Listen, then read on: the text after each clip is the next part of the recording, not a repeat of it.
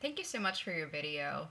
I agree with you that the videos showed a more of a Rogerian style of counseling where the counselor took an unconditional positive regard stance towards the clients. I definitely saw the level of attentiveness and that welcoming atmosphere that they created by um, looking attentively with the good eye contact by having that neutral position not not being judgmental or imposing values onto the client as they share their story but rather listening attentively to what the client was sharing.